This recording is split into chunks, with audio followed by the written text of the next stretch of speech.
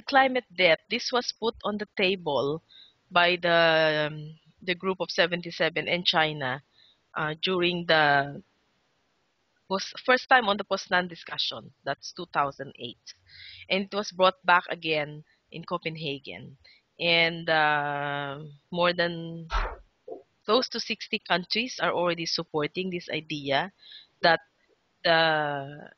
fundamental reality in in the climate discourse is that those who are severely affected now or those that are suffering now on climate change are mostly the people who did not contributed to it or did not contributed a lot to it. Because if we will look at the poor majority uh, their lifestyle their their emission is is not huge. And and but at the same time when a catastrophe happened they're the first one to become victims they are the first ones who experience loss of their livelihood and loss of home uh, if we put that in certain sectors for example uh, farming or agriculture which indeed uh, emit um, you know produce emission but if we come if we come to think of it their activity is that of producing food for humanity. So it's a it, it's now a question of what kind of emission and for what purpose. Now the discourse on climate debt is that for many developing countries they're saying that for so long since the industrial revolution the now industrialized countries have emitted or have claimed a space which is more than just or more than more than they deserve or more than more than equal uh, have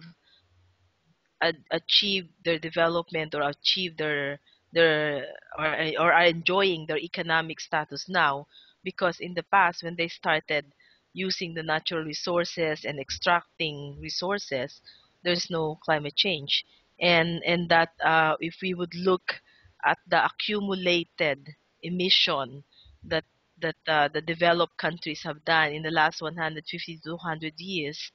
uh, this is more than their fair share of the atmosphere. So many of the um, developing countries are now contesting that this should be seen as a debt owed by the now developed countries to the rest of the of the developing countries because they have used up more space than, than they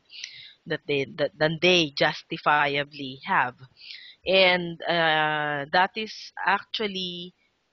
uh, coming from the framework also of who owes whom. Um, if we would look at the the um, paradigm of development, what we have now is a kind of political economy that that that wherein development is equivalent to growth or for many developing countries the, the remaining path to growth is that of uh, manufacturing or or using their natural resources to enable to to get foreign um, uh, foreign earnings. So in the in the climate campaign, uh, especially when we look at the climate justice framework, um, the idea that now we are in this very, very uh, difficult situation, facing a catastrophe or facing a climate crisis, um, is is because if if we would look at the at the distribution or or a space um, claimed by people in in our atmosphere, that has not been just, and that it is time that the polluter must pay, and that is the debt that they owed to the developing countries. And there are even two arguments that, go with it as well. So that is a, a climate debt and an emission debt, which means the continuing impact of climate change is still being felt uh, by the developing countries now, and also the gap to achieve the development they need will now be more difficult due to climate change. So that means uh, if the the current uh, framework of understanding on climate will not be changed, that means that um, the solutions that are that are on the table at the moment, which is more market based, will not correct the inequities. That will not correct um, the the you know the past situation wherein there is inequality and an unequal space or an unequal claim to the atmosphere. And and instead of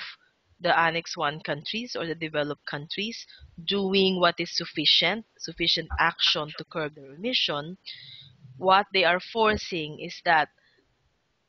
instead of lowering their emission they wanted to pay the developing countries for the space um, that the developing countries could still use for their own development. So it became now a matter of recolonization of the South through uh, through that space of how much more emission one can use. Uh, the reality is that whatever movement, whatever activity we do,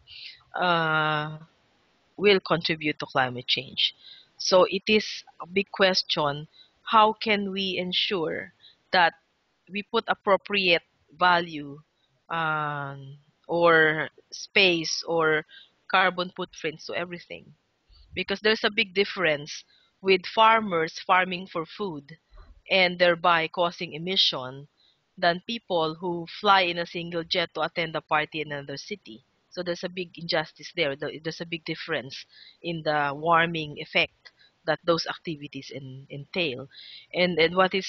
funny is that many of the solutions are not just and not fair, especially all the CDMs, which is um, a compromise to enable the U.S. and the develop and the much of the annex countries to accept the Kyoto Protocol. What we ended up is a very weak Kyoto Protocol that has CDMs which is actually tricky. Uh, it will not lower the emissions from developed countries, but it's more like asking the developing countries to give up more space. So in, in order for the developed countries to continue polluting.